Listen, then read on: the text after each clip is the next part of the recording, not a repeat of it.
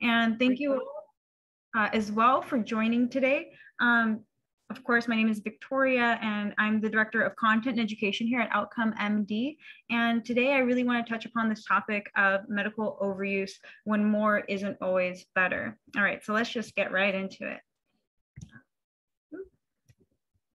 Here we go. And so just some learning objectives, um, high level things. So by the end of this presentation, we wanna make sure that you can define how medical overuse impacts resources, patients, and providers. Um, explain why medical overuse occurs. And lastly, construct ways to combat medical overuse through the use of patient-reported outcomes. And so just to touch a little bit about Outcome MD, which I'm gonna get into uh, by the end of this presentation, so OutcomeMD is an integrated digital outcome tracking and, man- and marketing platform that helps doctors and patients elevate and celebrate their medical care. Our mission is to measurably improve health outcomes and direct patients to the best care possible. And so without further ado, let's get right into the topic. And so I start out with uh, this post from the New York Times uh, this was by Aaron Carroll, and we'll just kind of read the title for what it is. It's hard for doctors to unlearn things. That's costly for all of us. Procedures live on even after they've been proved ineffective, and it can lead to harms and wasted resources. And so, really, what Aaron is talking about is medical overuse. And we know that this is a well known issue. This is just one aspect of many as to why this may occur. And this makes logical sense. His argument is sound. If a doctor provider really continues to administer an ineffective, a known ineffective treatment, then it's somewhat expected that the patient's not going to improve from that treatment. And then that's going to, to some extent, directly contribute to needless spending. So, why are we doing this treatment if it's not going to work? And of course, even worse, this can make the patient suffer. So, let's talk about this in a little more detail. So, medical overuse. Let's define this first. Um, what this really means is the delivery of care that is either uh, that either provides little or no clinical benefit, is unlikely to have an impact on clinical decisions, uh, contributes to healthcare spending without improving health outcomes, and or contributes to patient harm. And so Morgan et al., they actually had reviewed the literature and what they found is that you can break this uh, large topic into four categories. So the first one's over testing. Next one is over diagnosis. Third one is over treatment. And the last one here would be services to question. And so now that we've defined what medical abuse is and some of the categories of it, we can start to get into uh, its impacts. And so for starters, very clearly it wastes money. And so the Institute of Medicine in 2013, they had stated that 28% of the estimated 700 50 billion in excess spending each year could be attributed to unnecessary mm, uh, healthcare services. And just an example of this, uh, and this was uh, reported by, uh, I believe it's Sidigan et al., and I could be butchering that last name, so I apologize. But what they did was they examined uh, around 35,000 uh, female Medicare beneficiaries with advanced colorectal or lung cancer uh, and they found that although breast cancer screening in advanced cancer patients with life expectancy of less than five to seven years is generally not recommended, 9% of these women uh, with advanced cancer were screened, and 11 of those screened received at least one additional downstream test. And of course, there's a multitude of other examples as to how medical overuse uh, contributes to uh, excess spending. But let's, uh, let's kind of pivot from that and let's look at what else this hurts. So if it, if it were just money, that would be one thing, right? But unfortunately, medical overuse can also hurt patients. And so this is an example um, of one one-on-one randomized control trial in uh, 14 US hospitals. Uh, what they found Huang et al., what they found was that the intention to treat analysis showed that the testing of procalcitonin, which is used to evaluate if antibiotic treatment should end or continue, um, the, the, use, the testing of this uh, lab, it did not result in improved antibiotic use by practitioners. And these results were consistent for the per protocol analysis, per guideline, complete care analysis, missing out at random analysis. And so in essence, we're kind of using these tests, but they're not contributing to what we're doing to the patient. Uh, in addition, there was a, syst a systematic and meta-analysis of randomized controlled trials in non-pregnant adults with subclinical hypothyroidism. And what they found was that although the mean thyrotropin levels were normalized by the end of the follow-up period in the treatment group, as opposed to the placebo or no treatment group where those levels remained elevated, thyroid hormone therapy was not associated with benefit for either of the two primary outcomes, namely speaking quality of life or thyroid related symptoms. And then in this last example right here, uh, so Dominici et al., they had conducted a multi-centered uh, cross-sectional study of a prospective cohort of around 560 women with stages zero to three breast cancer. And they evaluated the breast Q, which is a patient-reported outcome measure. And what they found was that 52% of uh, patients underwent bilateral mastectomy, 20 unilateral mastectomy, and 28 breast conserving therapy. Now, for those that went, underwent the mastectomy, 89 had reconstruction and 45 received radiotherapy. They found that implant-based reconstruction versus autologous was associated with decreased breast satisfaction and that complex reconstruction versus autologous was associated with worse, worse physical well-being. Now, it's been said that many of these women, they may have actually qualified for breast conserving surgery, such as a lumpectomy, which may have prevented the need for the reconstruction and subsequently prevented the decrease, uh, decreased quality of life measures. So with all that being said, it's not just money, it's not just patients, of course, it's the providers themselves. So it hurts us. Chamberlain and all, they actually conducted a cross-sectional uh, self-administered questionnaire to clinicians. And what they found was that of the cl clinicians surveyed, which was around 349, and this was um, RNs, PAs, NPs, attending physicians, residents, fellows, um, when they were surveyed whether they had provided futile or potentially inappropriate care, AKA PIC, in the past six months, 79% of them said yes. Now, what they also found was that providing futile services or PIC is associated with avoidant and compensatory behaviors, and that ultimately these behaviors were associated with burnout. Now, this isn't the only example, uh, and it's not just limited to the US as well. In Germany, uh, another group, they conducted a cross-sectional multi-centered survey, and again, they're surveying uh, providers, so RNs, junior physicians, senior physicians, and ultimately, what they found was that perceived non beneficial treatment was related to higher emotional exhaustion when all when controlled for all other predictors. And ultimately, what they uh, had concluded with it was that this spells burnout for the provider and potentially increased intention to quit. And so it's clear that medical overuse is not a, a limited issue to just finances, uh, but it also impacts the very patients that we're treating, and then of course, ultimately ourselves. And so now we can get into kind of this you know, idea of, well, why does this even happen? So Lyu et al. in 2017, they conducted another survey and they wanted to basically estimate the physician perspective on the prevalence of overtreatment and identify the cause and solutions. So they asked a group of medical doctors, and this list was from the AMA. It's a master file um, that had been uh, invited and uh, master file that had been invited to participate in an online educational community. And this represented around 28% of the US physicians. 63.5% uh, of the invitees responded. So that's a total of around 2,100 uh, individuals within this survey and 57 or 58% of them represented primary care, whereas 42 represented specialists.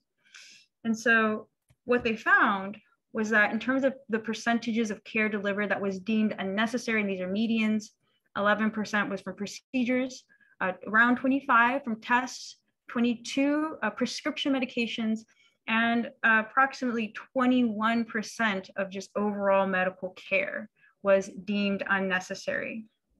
Only 4.6% of respondents believe that none of the medical care de was deemed unnecessary, which is quite surprising. Now, in terms of why this happens, so these medical doctors were also asked this question of, you know, why does uh, why does overtreatment occur? And so there was a plethora of rationales, but the top three, and they kind of go from the bottom up, fear of malpractice was number one, 85%. Uh, patient pressure or request was 59%, and 38.2% was just difficulty accessing prior medical records. So in essence, if they didn't have access to something, then they kind of considered it, okay, I don't have information, let me, let me go get it again. And of course, there's a multitude of other uh, uh, rationales. I won't go over all of them.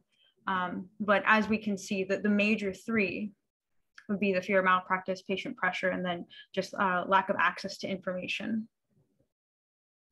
Now to pivot to a different uh, study, before I go back to the Lyu et al. to get into some of the uh, steps to, or some of the, the solutions, uh, to continue to explore why this happens, we can examine another study by Reid et al. And this was just published um, in 2022 and they conducted a cross-sectional mixed methods study of 40 physician uh, organization leaders from 31 physician organizations and 22 health systems.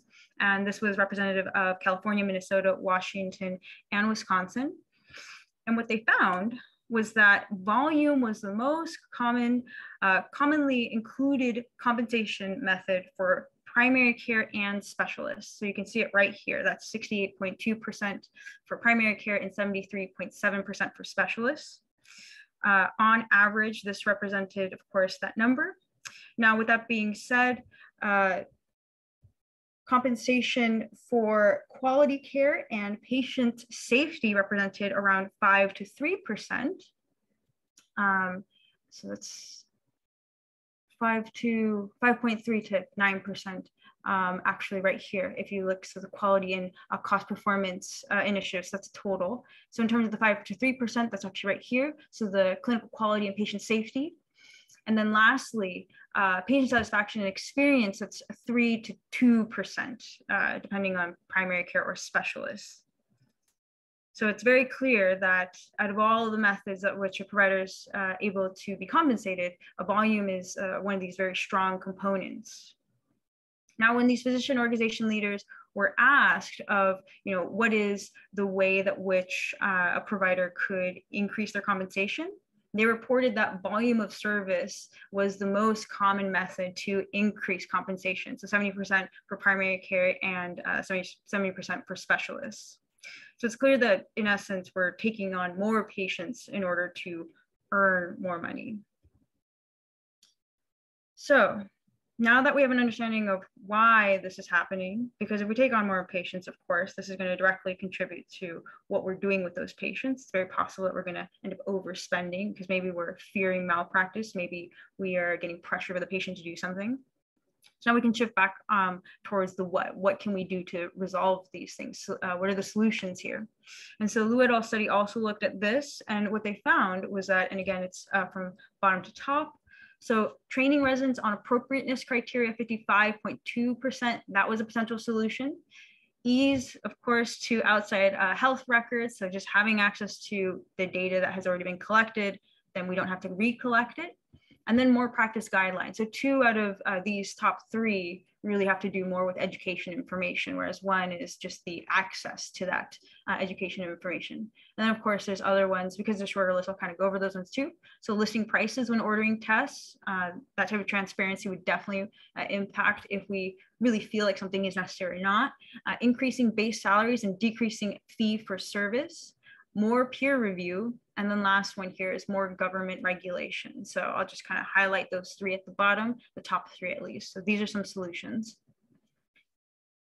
Now, interesting, interestingly, though, and seemingly consistent with Reid et al.'s findings, was that the volume is, is, a method for increasing compensation. So that's what they had found. 76% uh, within the Lyu et al. study believe that reducing emphasis on fee for service bonus pay would reduce unnecessary use. And 70, 70.8% uh, uh, believe that reducing fee-for-service reimbursement may even help to reduce the national health uh, care spending. And this was with the median reduction of around 10 to 20%. And so when we tie all this, these things together, it does seem to some extent that uh, this methodology as to how we are uh, how we're compensated, uh, this may be one potential solution. So how should we address the issue of medical overuse ultimately? Well, what can we really do about it? One thing here I want to mention is value-based care. And the reason being is because one potential strategy to minimize medical overuse would be this. And recall that many are incentivized based on patient volume as well as the fear of malpractice. Well, what if we were incentivized based on providing care that improves the patient's health outcomes relative to the cost of care? Moreover, although some did mention that training and guidelines were uh, helpful methods to reducing medical overuse, these are potential solutions, these don't necessarily act, address the actual results aspect of value-based care.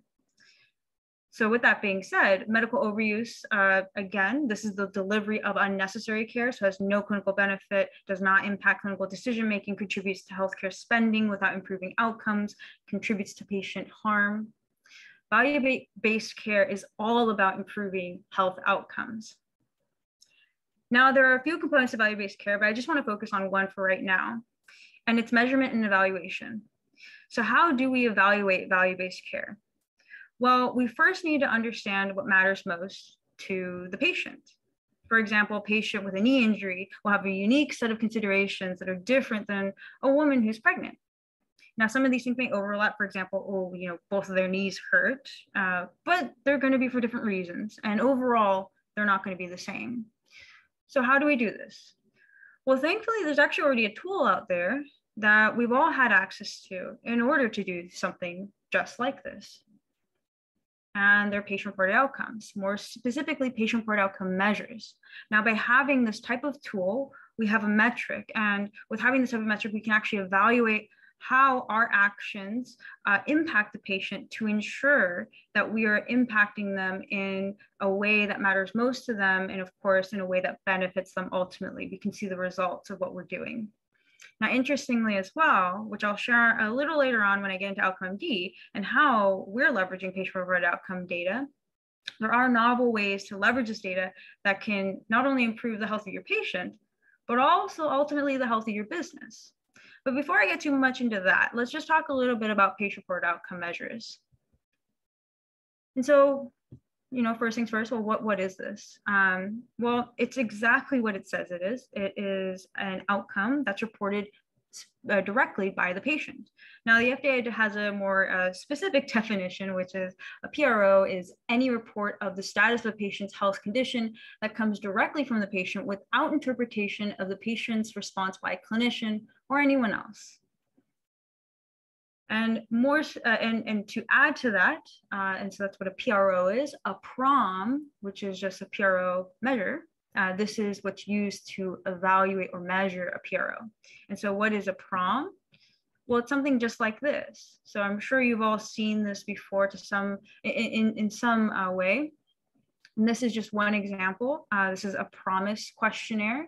And of course, it has uh, around a few questions with a few different types of answers, uh, poor to excellent or not at all to completely.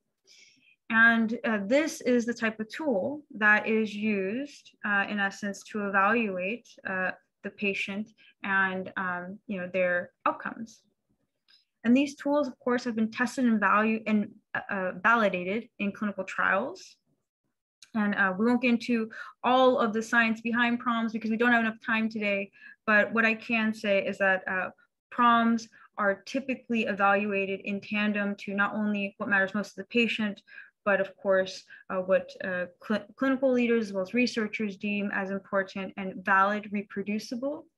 And ultimately, uh, they're paired with a clinical outcome uh, measure. So something else to, again, validate that this is really what uh, they're trying to achieve or what they're trying to measure. Now, I will get into different types of PROs. So there are some that are generic.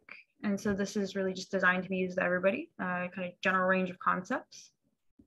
There are some that are targeted and these are condition specific, uh, whether they be specific to uh, condition concepts that are most important to that condition, uh, whatever may be, they're just targeted in nature. In addition, there's a health related quality of life that you can evaluate, functional status that you can evaluate, and then symptoms and symptom burdens that can be evaluated.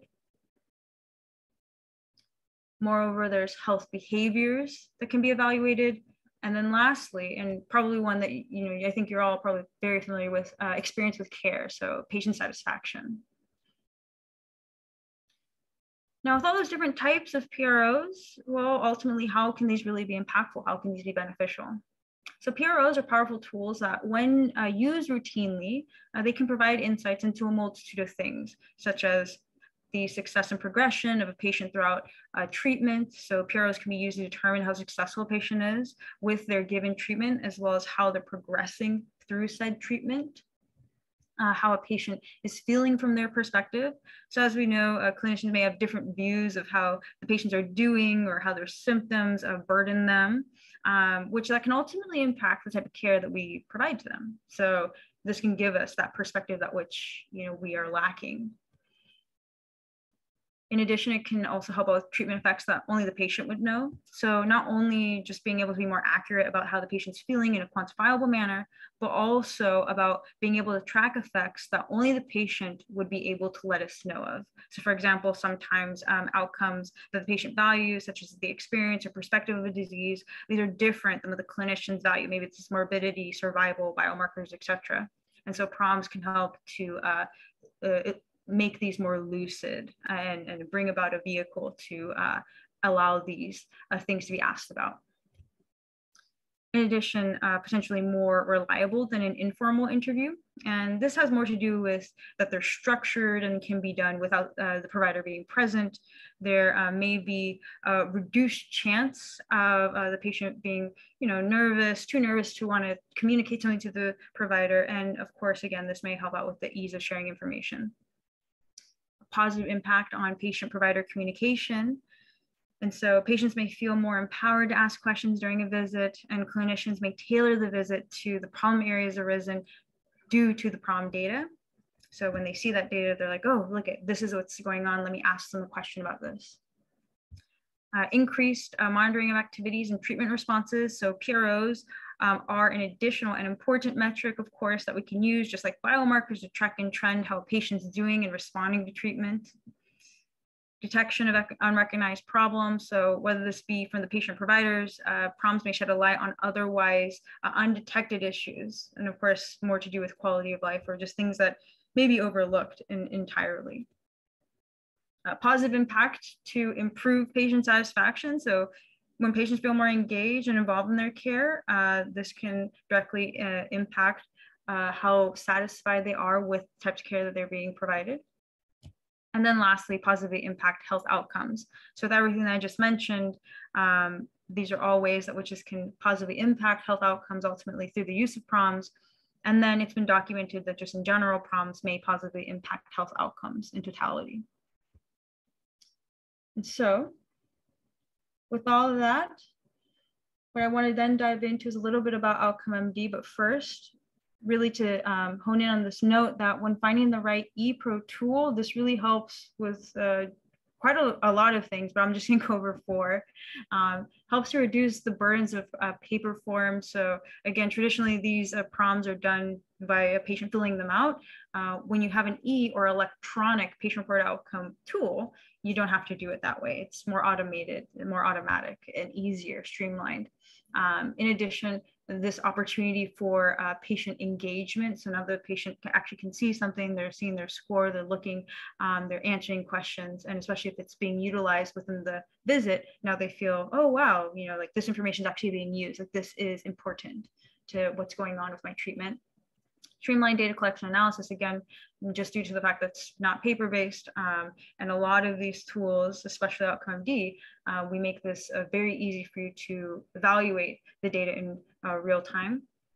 And then increase interpretability of scores for provider and patient. Now this is a little more unique to outcome md um, not every single pro system does this but what we do is we do make that score uh, much easier for the patient to understand because we have a score system of zero to 100. And so um, increasing always means improving, decreasing always means getting worse. And so with that being said, for both the patient provider, you don't have to be pro experts, meaning uh, PROM, uh, patient reported outcome experts to know exactly what each scale says and what the metrics are and et cetera. We simplify that uh, and make it much easier for understanding what's really going on. All righty, so then we can get straight into outcome MD. And with Outcome MD, of course, this is directly integrated with DrChrono. And so here's just a little example of how it would be, ooh, sorry about that, how it would be done. Let me just uh, try to get that little animation to go. Here we go. And so if you were to download it, you'd see in the app directory, you click on that um, through a patient's uh, a chart, and then you'd see OutcomeMD right there. This is just a test patient that we have. And of course, with it being integrated directly with, uh, with DrChrono, we pull in the medications, procedures, diagnoses, and you can have this really nice function of pushing the scores in Q&A directly into your note. So we really streamline this effort for you. And so in terms of how it works, so we're gonna go over some steps. So step one, the patient will receive uh, an assessment and they're going to complete that baseline assessment. It takes around three to four minutes. Uh, they do this remotely or within the clinical setting, whatever your preference is, and they can do this on their device. So they get their score just like this.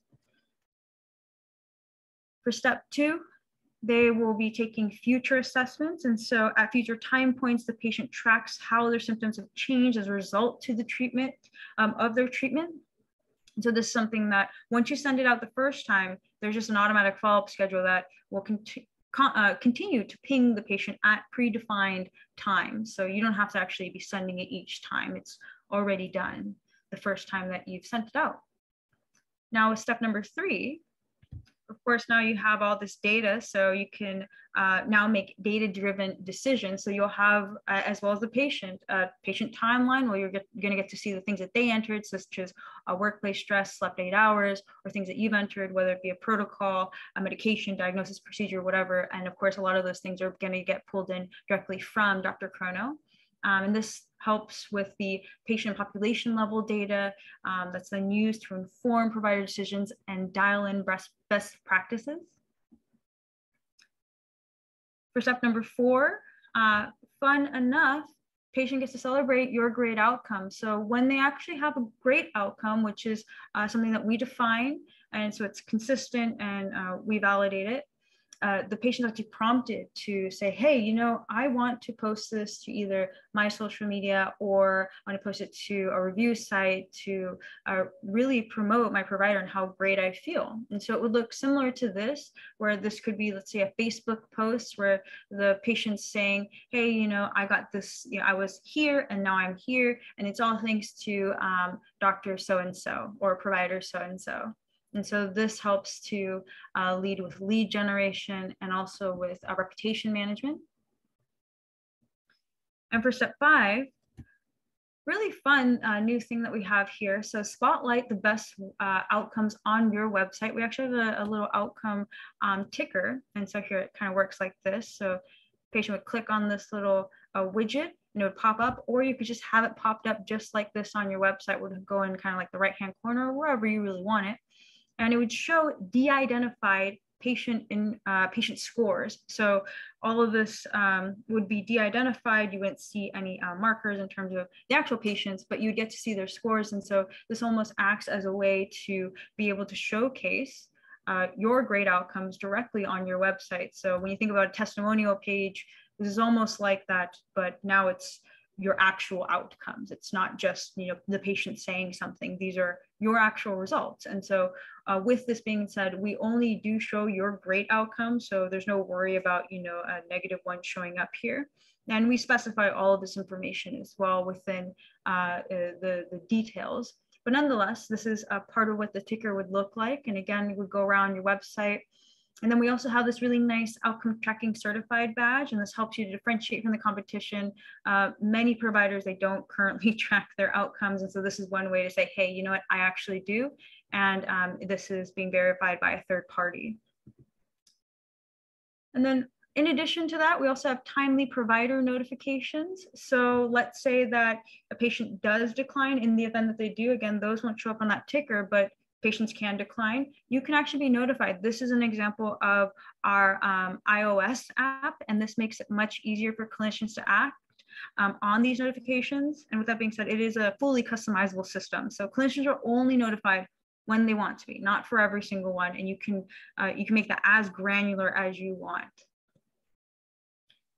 And then lastly here, um, all your data is collected by OutcomeMD um, and can be correlated in a way uh, it, to make it easy uh, to evaluate all of your data in, in, one place. And our proprietary filtration system lets you dial in best practices in real time to focus on what works and then of course what doesn't work. And so it kind of works just like this. And then here's this next uh, note. So the CPT code, the 96156, a health and behavior assessment reassessment. This is the AMA's definition right here. It is reimbursable. And something that we're working on uh, right now is that uh, we want to streamline this process through Outcome MD. So the, effectively the protocols as would go is that the patient completes an assessment, the data appears in the care management tab with an OutcomeMD, provider reviews and signs, and then the, there's PDF uh, documentation that's, that's uh, automatically e-faxed into the EHR for billing. And in terms of an example uh, case, so this was a practice, internal medicine practice in Houston, Texas. Duration of time was around three months, pairs included 19. And what they had uh, found was that when uh, with the amount of patients that they had assessed over three months was 421, total payments was around uh, 31,000, average reimbursement per month was around 10,000, and then the uh, payment average across insurers was around 80, uh, 84 uh, dollars. So if you'd like to learn more about this, then definitely reach out to our sales team. They'd be happy to talk to you more about it. But with all that being said, I thank you so much for joining me today to just learn a little more about uh, medical overuse and OutcomeMD. If you'd like to learn um, more about uh, how OutcomeMD can contribute to the health of your patients and your business, then please reach out to our sales team today. Their email is right here. And if you have any questions about what we covered today, um, of course, you can always feel free to reach out to me directly as well. So um, if there are any questions, I'll take them right now. And I think I see a couple um, in the chat. So let me kind of go over there. Oh, we just stopped quarantine. Perfect. Well, yeah, if you have any questions, then feel free to uh, let me know right now. Otherwise, again, I thank you so much for being here. And I hope that you all have a great day. Yeah, thank you so much, Victoria. Does anyone have any questions for her about PROs or about OutcomeMD? Any questions at all?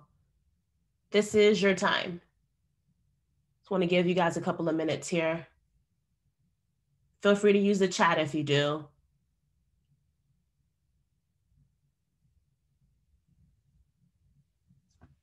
Any questions at all? Just want to be sure.